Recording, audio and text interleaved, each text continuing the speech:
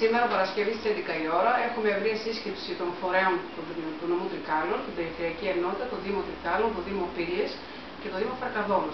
Η σημερινή συνάντηση έχει, έχει σχέση με το θέμα το να κουβεντιάσουμε δηλαδή από κοντά και να αναλύσουμε πώς θα γίνει καλύτερη ε, η εξαγωγή καλύτερη του προγράμματος κοινοφιλούς εργασίας που, που αφορά τα πεντάμινα ε, για τον νομό Τρικάλων. Είναι ένα πρόγραμμα που ε, θα μπορεί να βοηθήσει και να δώσει μια ανάσα ζωή σε περίπου 865 ανέργους στον νομό Τρικάλων. Θεωρώ ότι μέσα σε μια δύσκολη συγκυριακή κατάσταση με τις εργασιακές σχέσεις να έχουν καταληφθεί με τη μεγάλη ανεργία, ε, είναι μια βοήθεια, με μια μεγάλη βοήθεια για πάρα πολλούς ανθρώπους.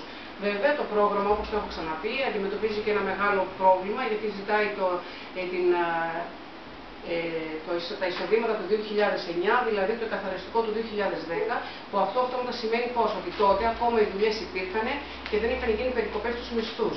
Ε, προσπαθήσαμε να κάνουμε μια ένσταση, να βρούμε μια λύση ώστε να γίνει κάποια τροποποίηση πάνω σε αυτό, αλλά δυστυχώς δεν μπορέσαμε να το λύσουμε γιατί το πρόγραμμα αυτό έχει βγει πάρα πολύ καιρό πριν και δεν γινόταν να διαφοροποιηθεί.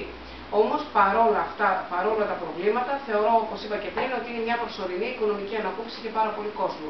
Θα προσπαθήσουμε να βοηθήσουμε όλους τους ενδιαφερομένους.